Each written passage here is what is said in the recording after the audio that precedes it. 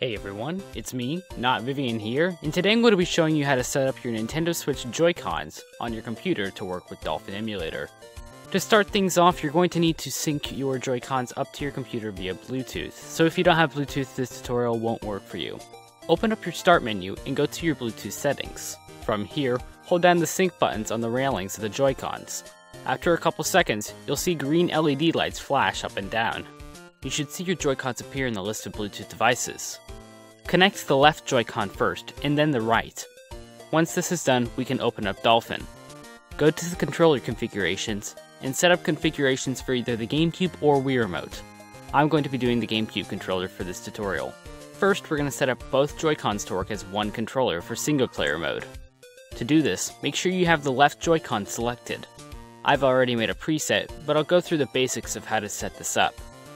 Just like any other controller, you can click on the button you want to map and press down the button on the Joy-Con that you want to correspond with it. But to set up the right Joy-Con, simply right-click on the button that you want to map, select the right Joy-Con on the list of controllers, hit Detect and press down the button on the right Joy-Con that you want to map with, hit Select, hit Apply, and hit OK. Do this with every button that you want to map, and then you should be good to go to play. I'm going to launch up Super Smash Bros. Melee to show you how this works. Sadly, the analog sticks on the Joy-Con function more like joysticks on PC, meaning that the computer can't distinguish slightly tilting up from fully tilting up.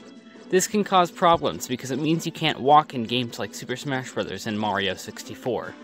But I'm sure in the future, when people figure out how to make drivers for the Joy-Cons, this will be fixed. As proof of concept, I'll let you watch the footage.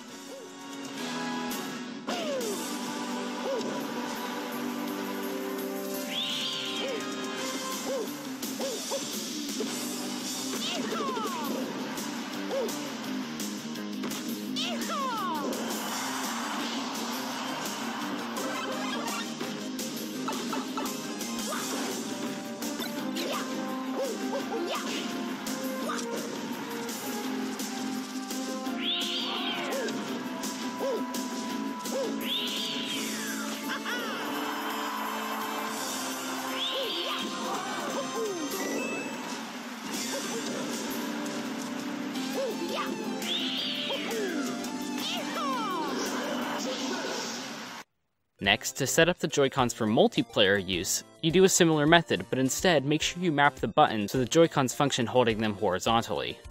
And to show that it does work, I'm going to launch Super Smash Bros. Melee up again, and you can see I'm controlling each character using its separate Joy-Con. I find this setup extremely useful since the Joy-Cons are so small, you can put them in a bag and have two controllers ready for multiplayer use anywhere you go. If you like this tutorial, make sure to leave a like and subscribe for more. If you experience any problems, drop a comment down below and I'll try to respond as fast as possible. But until then guys, see ya.